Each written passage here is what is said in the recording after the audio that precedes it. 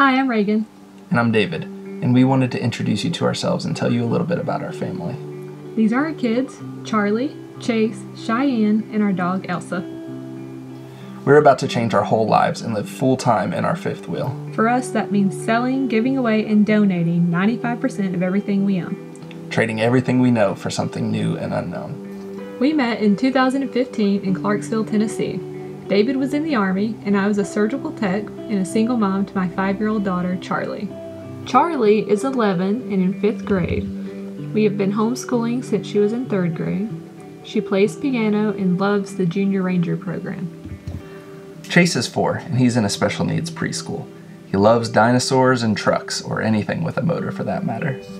Cheyenne is two. She's sweet and silly and loves dogs, but is terrified of giraffes. We got married in June 2016 and loved adventuring from the start.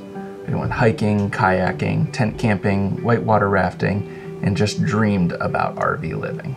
In October 2016, I came home to Reagan having brought a puppy into our home. We had previously discussed getting an older dog that was housebroken. Reagan found a beautiful white Pomeranian on Facebook that was housebroken, a year old, trained, or so the posting said. Elsa was in fact a 10 week old American Eskimo puppy who was not housebroken or trained at all for that matter. But that being said, she's the best dog either of us have ever had.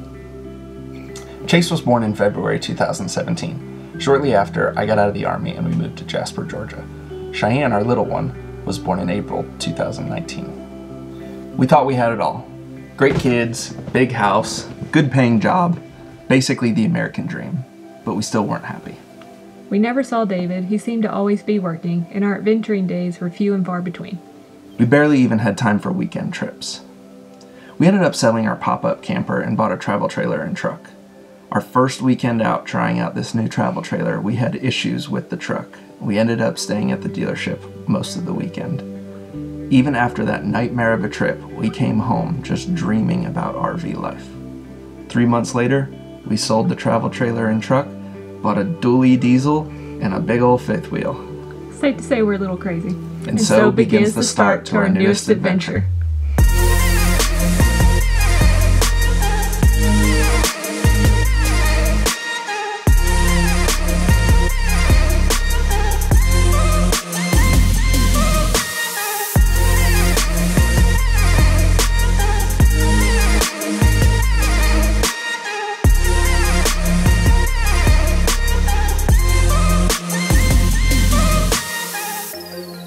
For anyone interested in following along with our lives, we started this channel to share our journey.